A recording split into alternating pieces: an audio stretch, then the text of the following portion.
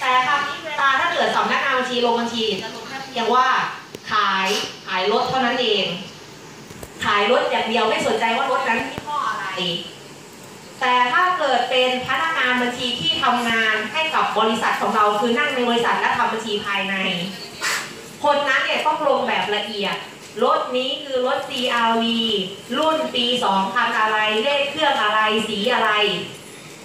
มันมีหลายสีต้องทำแบบละเอียด เพราะฉะนั้นเจ๊เราจะบอกว่าเราที่เราจ้างสำนักงานบัญชีเขาจะทำภายใต้กรอบของกฎหมายที่บังคับเท่านั้นเอง นั่นก็คือลงว่าเป็นรายได้จากการขายรถยนต์จบ แต่เราไม่รู้ข้อมูลภายในเลยว่ารถนั้นคือรถอะไร แต่ถ้าเกิดเราเอาโปรแกรมไปทำเอง เราจะรู้ข้อมูลภายใน นั่นก็คือรถนั้นคือรถอะไรยี่ห้ออะไรรุ่นไหน และก็ใช้ในการบริหารต่อว่าไอ้สินค้าชนิดนี้อะสมมติจะเป็นร้านขาย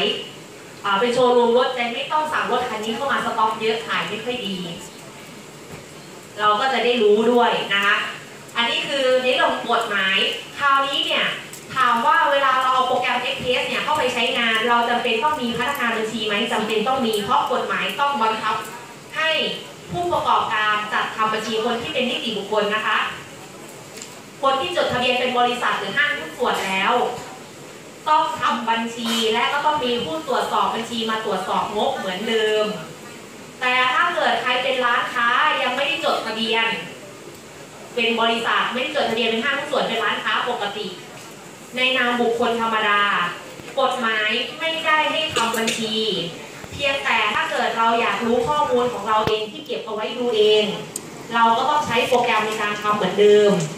เราไม่ได้ใช้โปรแกรมทำก็อย่างที่เจ๊ยบบอกก็ต้องกลับไปทำบัญชีด้วยมือ